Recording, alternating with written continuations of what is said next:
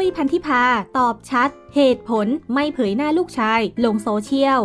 ยังคงได้รับคำอวยพรจากแฟนคลับ และเพื่อนพ้องคนบันเทิงอย่างต่อเนื่องสำหรับลูกชายตัวน้อย ของครอบครัวดูวาน ที่เพิ่งจะลืมตาดูโลกเมื่อไม่กี่วันก่อนท่ามกลางบรรยากาศการต้อนรับอย่างอบอุ่น แต่ถึงอย่างนั้นแล้วบรรดาชาวเน็ตหลายคนต่างก็ยังมีคำถามว่า เมื่อไหร่คุณพ่อคุณแม่ป้ายแดง จะปล่อยภาพถ่าย อวดใบหน้าหล่อๆของหนูน้อย ให้ได้ชื่นชมความน่ารักน่าชังกันแบบเต็มๆสักที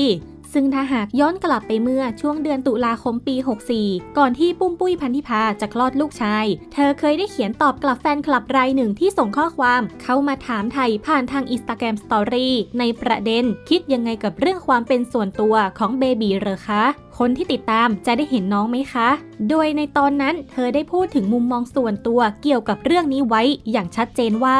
เป็นเรื่องที่คิดหนักและทำการบ้านหนักมากเรื่องนี้ค่ะ ปุยให้ความสำคัญกับสิทธิขั้นพื้นฐานเด็กที่จะได้รับจากผู้เลี้ยงดู 70%คิดว่าจะไม่มีใครได้เห็นค่ะ จนกว่าลูกจะเริ่มมีพัฒนาการด้านตัวตน สามารถบอกความรู้สึกได้จำเป็นต้องขออนุญาตจากลูกก่อนค่ะ อย่าลืมกดติดตามและกดกระดิ่ง เพื่อจะได้ไม่พลาดคลิปใหม่ ๆ กันด้วยนะคะ ขอบคุณค่ะ